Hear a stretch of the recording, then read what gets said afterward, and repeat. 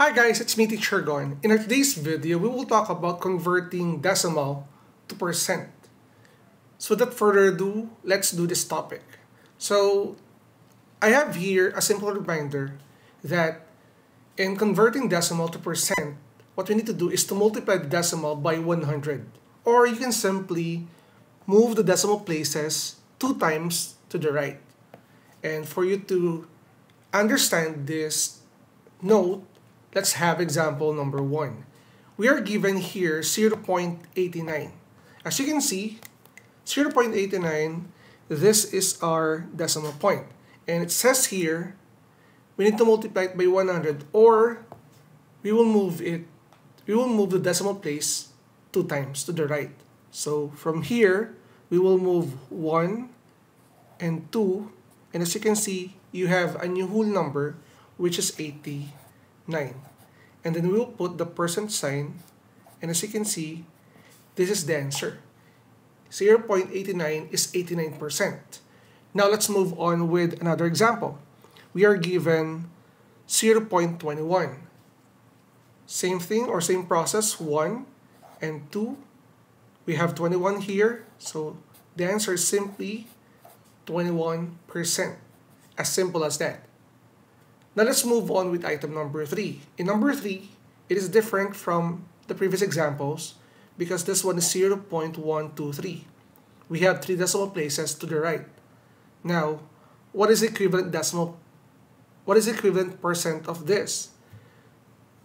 We need to stick to the process. We will move the decimal place two times. So from this point, 1 and 2. And it will stop here. That is 12.3 and then we will put the percent sign, meaning 0.123 is equivalent to 12.3%. Now let's have example number 4. This is 0.01. So as you can see, this is 0.01, 1 and 2.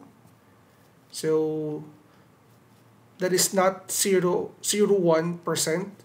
You can simply add 1 and then the percent sign. This is the answer.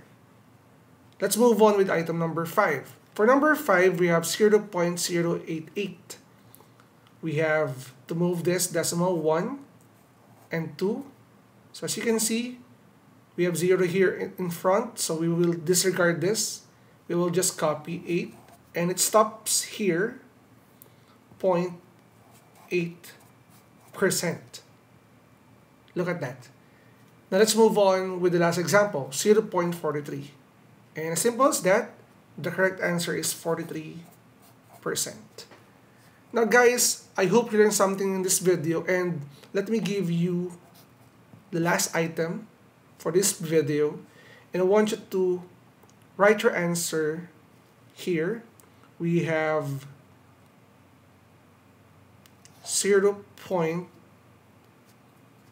55. What is the equivalent percent of this decimal? Let me know in the comment section. So guys, if you're new to my channel, don't forget to like and subscribe at i-hit na rin bell button for you to be updated sa ating latest uploads. Again, it's me, Teacher Gon.